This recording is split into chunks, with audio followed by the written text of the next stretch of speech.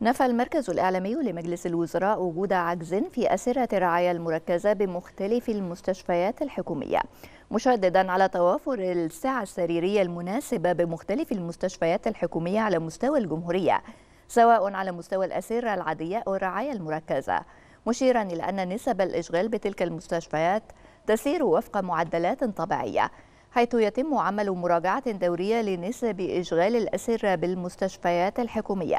وذلك بهدف توزيع المرضى بين المستشفيات حسب حالتهم الصحية ووفقا لنسب إشغال المستشفيات بما يساهم في تحقيق التوازن في القدرة الاستيعابية لجميع المستشفيات.